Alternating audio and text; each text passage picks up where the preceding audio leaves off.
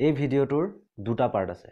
তাৰে প্ৰথম পাৰ্টটো হৈছে কিহৰ ওপৰত ভিত্তি কৰি মেণ্ডেলিভে মৌলসমূহৰ শ্ৰেণী বিভাজন কৰিছিল? আৰু যোনটো দ্বিতীয় পাৰ্ট সেইটো হৈছে তেখেতে কেনেকৈ মৌলসমূহৰ শ্ৰেণী বিভাজন কৰিছিল? তাৰে ফাৰ্ষ্ট পাৰ্টটোত যদি চাবলৈ যাওঁ আমি নিউলেন্সৰ সূত্ৰ পঢ়িছিলোঁ। নিউলেন্সৰ সূত্ৰৰ যোনখিনি অসুবিধা আছিলে সেইখিনিও পঢ়িলোঁ। এতিয়া নিউলেন্সৰ সময়ত বা নিউলেন্সৰ পাছত কিছুমান এনেকুৱা চাইণ্টিষ্ট আছিলে যিসকলে মৌলসমূহৰ ধৰ্মৰ ওপৰত ভিত্তি কৰি পেলাই মৌলসমূহৰ শ্ৰেণী বিভাজন কৰিবলৈ চাই আছিলে বা মৌলসমূহক নিৰ্দিষ্ট এটা ক্ৰমত সজাবলৈ চাইছিলে। তাৰে ভিতৰত এজন চাইণ্টিষ্ট হৈছে ডিমিত্ৰী মেণ্ডেলিভ তেখেতক father of the periodic table বুলিও জনা যায়। এতিয়া ডিমিত্ৰী মেণ্ডেলিভেনো কি কৰিছিলে? ডিমিত্ৰী মেণ্ডেলিভে দুটা ধৰ্ম লৈছিলে। তাৰে প্ৰথম ধৰ্মটো হৈছে মৌলসমূহৰ পাৰমাণৱিক ভৰ। যোনটোক তেখেতে মৌলসমূহৰ মৌলিক ধৰ্ম বুলি ধৰি লৈছিলে। আৰু যোনটো দ্বিতীয় হৈছে সেইটো হৈছে মৌলসমূহৰ ৰাসায়নিক ধৰ্মৰ সাদৃশ্যতা। অৰ্থাৎ এই দুয়োটা ধৰ্মৰ ওপৰত ভিত্তি কৰিয়েই মেণ্ডেলিভৰ পৰ্যাবৃত্ত তালিকাখন গঠিত হৈছে। এতিয়া দ্বিতীয় পাৰ্টলৈ আহোঁ। দ্বিতীয় পাৰ্টত মই কৈছোঁ যে তেখেতে কেনেকৈনো মৌলসমূহৰ শ্ৰেণী বিভাজন কৰিছিলে বা মৌলসমূহক সজ্জিত কৰিছিলে। তেখেতে দুটা মৌল লৈছিলে হাইড্ৰজেন আৰু অক্সিজেন। আৰু তেখেতৰ সময়ত ডিছকভাৰ হোৱা মৌল বা আৱিষ্কাৰ হোৱা মৌল আছিলে মুঠতে তেষষ্ঠিটা ছিক্সটি থ্ৰীটা হাইড্ৰজেন আৰু অক্সিজেন এই মৌল দুটা লৈ পেলাই তেখেতে কি কৰিছিলে? সেই ছিক্সটি থ্ৰীটা মৌলৰ লগত ৰাসায়নিক বিক্ৰিয়া কৰাই চাইছিলে। নিশ্চয় জানা মৌলসমূহে যেতিয়া হাইড্ৰজেনৰ লগত ৰাসায়নিক বিক্ৰিয়া কৰে তেতিয়া মৌলটোৱে হাইড্ৰাইড গঠন কৰে। আৰু মৌল এটাই যেতিয়া অক্সিজেনৰ লগত বিক্ৰিয়া কৰে তেতিয়া মৌলটোৱে অক্সাইড গঠন কৰিব।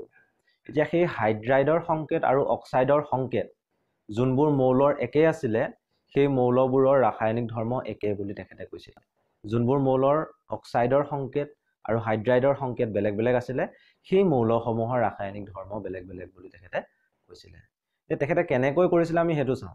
তেখেতে কি কৰিছিলে তেষষ্ঠিখন কাৰ্ড লৈছিলে ছিক্সটি থ্ৰীখন কাৰ্ড। আৰু প্ৰত্যেকখন কাৰ্ডতে মৌলটোৰ ধৰ্মসমূহ লিখিছিলে। বেলেগ বহুত বস্তু একো লিখা নাছিলে। তাত মৌলটোৰ লিখিছিলে সংকেতটো। মৌলটোৱে যোনটো অক্সাইড গঠন কৰিব সেইটোৰ সংকেত আৰু মৌলটোৱে যোনটো হাইড্ৰাইড গঠন কৰিব সেইটোৰ সংকেত।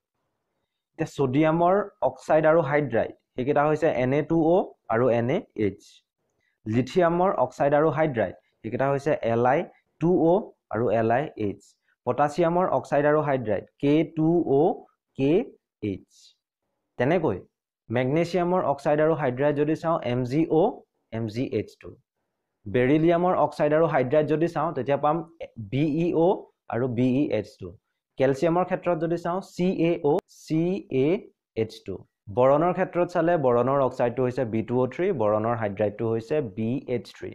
এলুমিনিয়ামৰ ক্ষেত্ৰত চালে এলুমিনিয়ামৰ অক্সাইডটো হৈছে A L two O' three আৰু এলুমিনিয়ামৰ যোনটো হাইড্ৰাইড হৈছে এ এল এইচ থ্ৰী। এতিয়া তেখেতে দেখা পালে যে ছডিয়ামৰ লিথিয়ামৰ পটাছিয়ামৰ যোনবোৰ অক্সাইড বা হাইড্ৰাইড আছিলে সিহঁতৰ সংকেতবোৰ একে আছিলে? মেগনেছিয়াম বেৰিলিয়াম কেলছিয়াম ইহঁতৰ যোনবোৰ অক্সাইড আৰু হাইড্ৰাইডৰ সংকেত আছিলে সেইবোৰ একে আছিলে।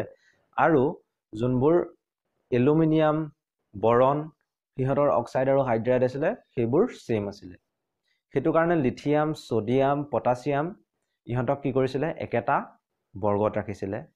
বেৰিলিয়াম মেগনেছিয়াম কেলছিয়াম ইহঁতক এটা বৰ্গত ৰাখিছিলে। তেনেকৈ বৰণ এলুমিনিয়াম ইহঁতক এটা বৰ্গত মেণ্ডেলিভে যেতিয়া মৌলসমূহক সজাবলৈ ধৰিলে অৰ্থাৎ পৰ্যাবৃত তালিকাখনত স্থান দিবলৈ ধৰিলে তেখেতে কোন দুটা ধৰ্ম লৈছিলে?